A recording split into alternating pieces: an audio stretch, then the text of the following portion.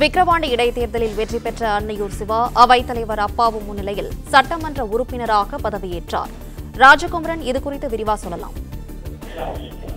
தற்போது விக்கிரவாண்டி சட்டமன்ற தொகுதியின் உறுப்பினராக அண்மையில் நடைபெற்ற இடைத்தேர்தலில் வெற்றி பெற்றிருந்த அன்னியூர் சிவா பதவியேற்றுக் கொண்டிருக்கின்றார்.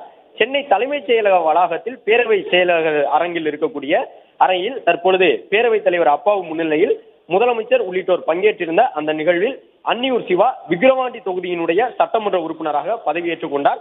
விக்கிரவாண்டியின் உறுப்பினராக இருந்த திமுகவை சார்ந்த புகழேந்தி மறைவை தொடர்ந்து விக்கிரவாண்டி தொகுதிக்கு இடைத்தேர்தல் நடைபெற்றிருந்தது. அந்த இடைத்தேர்தலில் அறுபத்தி ஏழாயிரத்துக்கும் கூடுதலான வாக்குகள் வித்தியாசத்தில் திமுகவின் வேட்பாளரான அன்னியூர் சிவா வெற்றி பெற்றிருந்தார். அதன் தொடர்ச்சியாக தற்பொழுது பேரவைத் தலைவர் முன்னிலையில் அவர் பதவியேற்றுக் கொண்டார். முதலமைச்சர் அமைச்சர் உதயநிதி ஸ்டாலின் பொன்முடி ஏவாவேலு உள்ளிட்ட மூத்த அமைச்சர்கள் பங்கேற்று அன்னியூர் சிவாவிற்கு சட்டமன்ற உறுப்பினருக்கான பதவியேற்பு நிகழ்வை முடித்து வைத்திருக்கின்றார்கள். தற்போது திமுகவின் சட்டமன்ற உறுப்பினர்களின் எண்ணிக்கை பேரவையில் நூற்றி முப்பத்தி மூன்றாக உயர்ந்திருக்கின்றது.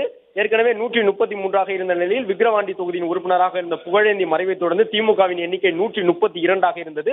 தற்போது மீண்டும் இடைத்தேர்தலில் வெற்றி பெற்று விக்கிரவாண்டி தொகுதியை திமுக தன் வசப்படுத்தி இருக்கக்கூடிய சூழ்நிலையில் அதற்கான சட்டமன்ற உறுப்பினராக விக்கிரவாண்டி தொகுதிக்கு அன்னியூர் சிவா பொறுப்பேற்றுக் கொண்டதன் மூலமாக பேரவையில் திமுக உறுப்பினர்களின் எண்ணிக்கை நூற்றி முப்பத்தி மூன்றாக உயர்ந்திருக்கின்றது.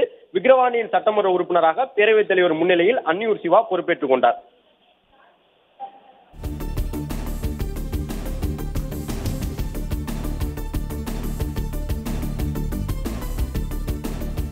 விக்கிரவாண்டி இடைத்தேர்தலில் வெற்றி பெற்ற அன்னியூர் சிவா சட்டமன்ற உறுப்பினராக பதவியேற்றார். சட்டமன்ற வளாகத்தில் உள்ள சபாநாயகர் அப்பாவு அறையில் எம்எல்ஏவாக பதவியேற்றார் அன்னியூர் சிவா. சபாநாயகர் அப்பாவு அறையில் முதலமைச்சர் மு க ஸ்டாலின் முன்னிலையில் அன்னியூர் சிவா பதவியேற்றார். இதுகுறித்த விவரங்களை வழங்கியமைக்கு நன்றி ராஜகுமரன்.